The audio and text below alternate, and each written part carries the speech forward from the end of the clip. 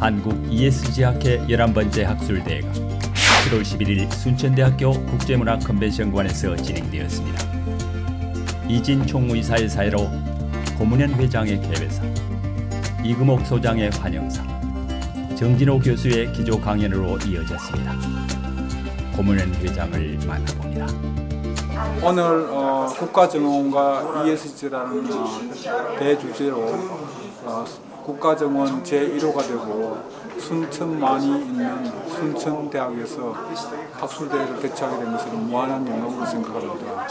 이번 학술대회를 통해서 순천만의 그 습지의 중요성 그리고 생물 다양성의 중요성을 많은 국민들이 알고 이것을 잘 보존하는데 많이 힘을 합치면 좋겠고 특히 최근에는 기후 위기와 생물 다양성 위기와 쌍둥이 위기라고 하는데 이 두 개의 위기를 저희 한국 ESG 학회가 중심이 되어서 보호하도록 하려고 하는데 여러분들이 같이 동참해 주셨으면 좋겠고 오늘 도출되는 집단 지성을 통해서 저희들이 열심히 노력하겠습니다.